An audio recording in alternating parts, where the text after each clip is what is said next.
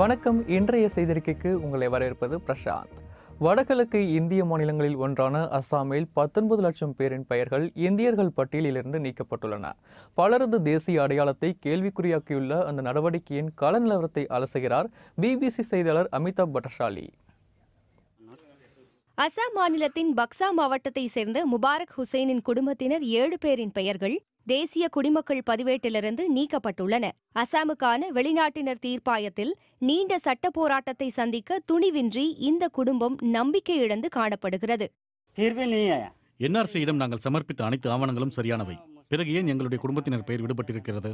இப்போது வெளிநாட்டினர் தீர்ப்பாயத்தில் நீண்ட சட்ட போராட்டத்தை நாங்கள் சந்தித்தாக வேண்டும். ஏற்கனவே என்ஆர்சி விசாரணைக்காக ஏராளமான பணத்தை செலவு செய்தோம். கூலி வேலை செய்துதான் வருமானத்தை ஈட்டுகிறோம். தீர்ப்பாயத்தில் வழக்காடும் அளவுக்கு எங்களிடம் பண வசதி இல்லை. இந்த மக்களின் குடியுரிமை தகுதியை வெளிநாட்டினர் தீர்ப்பாயம்தான் முடிவு செய்யும். ஆனால் அந்த தீர்ப்பாயத்தை அணுகியவர்களுக்கு தீர்வு கிடைத்ததா? அதில் ஒருவரான பங்ஷிபாடி கிராமத்தை சேர்ந்த ஆஷியா கார்ட்டூனை பிபிசி சந்தித்தது. கடந்த நான்கு ஆண்டுகளாக பார்பெட்டா மாவட்டத்தில் உள்ள வெளிநாட்டினர் தீர்ப்பாயத்தில் வழக்காடி வருகிறேன். தற்போது வரை கட்டணமாக தொண்ணூறாயிரம் ரூபாயை வழக்கறிஞர் பெற்றிருக்கிறார். பாடுபட்டு உழைத்த பணத்தை வழக்காட செலவு செய்கிறேன்.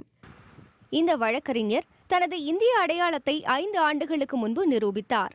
ஆனால் மீண்டும் கடந்த மாதம் இவரையும் இவரது குடும்பத்தாரையும் இந்தியர் அல்லாதோர் பட்டியலில் தீர்ப்பாயம் சேர்த்துள்ளது. தனது அடையாளத்தை வெளியிட அவர் விரும்பவில்லை. ஃபாரின் ட்ரைபுனல் में ஐந்து ஆண்டுகளுக்கு முன்பு வெளிநாட்டினர் தீர்ப்பாயத்தில் வழக்காடி எனது அடையாளத்தை நிரூபித்தேன். உச்சநீதிமன்ற உத்தரவின்படி எனது பெயர் என்ஆர்சி பட்டியலில் தாமாகவே சேர்க்கப்பட்டிருக்க வேண்டும். ஆனால் எனது பெயர் நிராகரிக்கப்பட்டதை பார்த்து அதிர்ச்சி அடைந்தேன். ஒரு வழக்கறிஞரான எனக்கே இந்த நிலை என்றால் கிராமப்புற மக்களின் நிலையை நினைத்துப் பாருங்கள். குடியுரிமையை நிர்ணயிக்கும் சட்ட நடைமுறையில் வெளிநாட்டினர் தீர்ப்பாயத்தின் விசாரணையை முக்கியமானதாக இந்திய அரசு கருதுகிறது.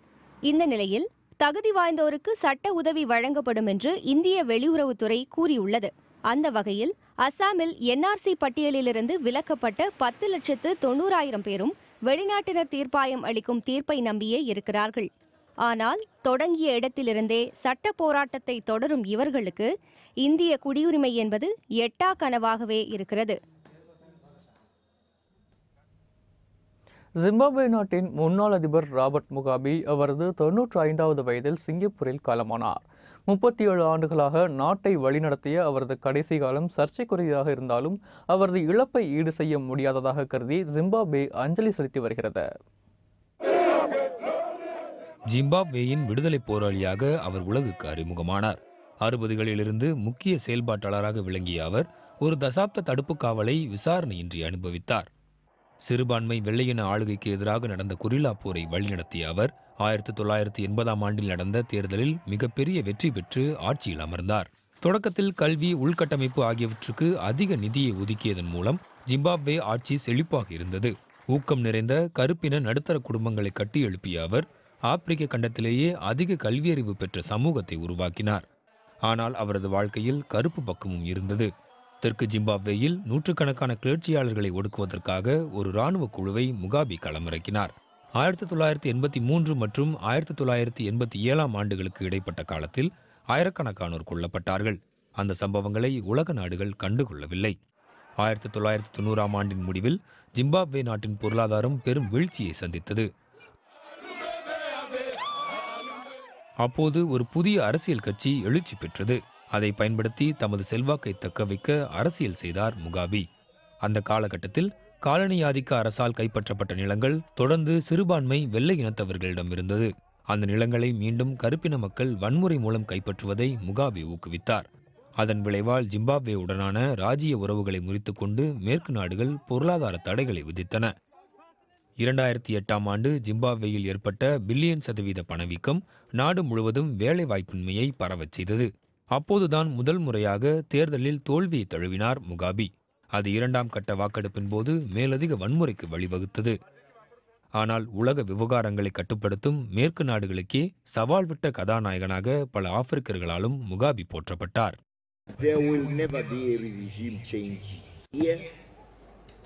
There will always be the people of Zimbabwe in control.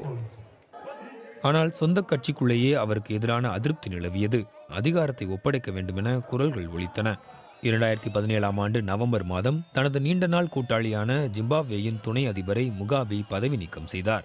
அதைத் தொடர்ந்து நடத்தப்பட்ட மிகப்பெரிய போராட்டங்களால் ராணுவம் தலையிட்டு முகாபியை வீட்டுக்காவலில் வைத்தது. அதுவே அவர் கட்டாய ராஜினாமா செய்யவும் வழிவகுத்தது. தமது வாழ்நாளின் கடைசி ஆண்டுகளை தனது வீட்டிலேயே தனிமையாக கழித்தார் முகாபே. சிறந்த பேச்சாளராகவும் ஜிம்பாப்வேயின் சுதந்திரத்திற்காகவும் பாடுபட்ட தொலைநோக்கு பார்வை கொண்ட தலைவராக அவர் நினைவு கூறப்படுவார். ஆனால் அவர் விட்டுச் சென்ற மரபு ஜிம்பாப்வேயில் வரும் ஆண்டுகளில் தாக்கத்தை ஏற்படுத்தலாம் என்றே தோன்றுகிறது. அடுத்து மேலும் சில முக்கிய செய்திகளை பார்க்கலாம். சீனாவுக்கும் அமெரிக்காவுக்கும் இடையிலான வர்த்தக மோதலுக்கு விரைவில் தீர்வு காணப்படலாம் என்று ஜெர்மன் ஆட்சித்துறை தலைவர் ஏங்கலா மெர்கல் நம்பிக்கை தெரிவித்துள்ளார். இரண்டு நாள் பயணமாக பெய்ஜிங் சென்றுள்ள அவர் சீன பிரதமர் லீ கை சியாங்குடன் இதுகுறித்து ஆலோசனை நடத்தினார். அமெரிக்கா செல்லவிருந்த ஆப்கான் அதிபர் அஷ்ரப் கானியின் பயணம் தள்ளி வைக்கப்பட்டுள்ளது. அமெரிக்காவுக்கும் தாலிபான்களுக்கும் இடையே தீர்மானிக்கப்பட்ட சமாதான ஒப்பந்தம் குறித்து அவர் அமெரிக்க அதிபருடன் ஆலோசனை நடத்த திட்டமிட்டிருந்தார். இந்த நிலையில் உள்நாட்டில் தொடரும் தாலிபான்களின் தாக்குதல்களால் அவரது பயணம் ஒத்திவைக்கப்பட்டுள்ளது ரஷ்யாவின் மத்திய தேர்தல் ஆணைய தலைவர் எல்லா ஃபாம்பிலோவா மீது முகமூடி அணிந்த நபர் டேசர் துப்பாக்கி மூலம் தாக்குதல் நடத்தியதாக மாஸ்கோ காவல்துறையினர் தெரிவித்தார்கள். ரஷ்யாவில் நாளை மறுதினம் உள்ளாட்சி தேர்தல் நடைபெற உள்ள நிலையில் இந்த தாக்குதல் நடத்தப்பட்டுள்ளது. டோரியன் சூறாவளியின் சீற்றத்தை கடுமையாக எதிர்கொண்ட நாடுகளில் ஒன்றாக பஹாமாஸ் விளங்கி வருகிறது. அங்குள்ள பல நகரங்களை புரட்டி போட்ட சூறாவளி கிரேட் அபாகோ தீவில் கடுமையான பாதிப்பை ஏற்படுத்தியுள்ளது. தற்போது அந்த சூறாவளி அமெரிக்காவின் கிழக்கு கடலோரத்தை நோக்கி மெதுவாக நகர்ந்து வருகிறது.